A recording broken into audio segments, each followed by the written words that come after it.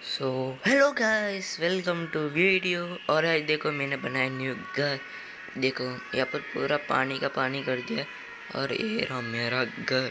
मैंने बनाया माइनक्राफ्ट में। और एक घर का आपको चाहिए तो पूरा आपको घर दिखाना है। तो आप उससे पहले चैनल पर नहीं हो तो एक लाइक कर दो। वो वीडियो अगले अगले वीडियो आ जाएगा। इस वीडियो पर आपको पूरा ये दिखाने वाला।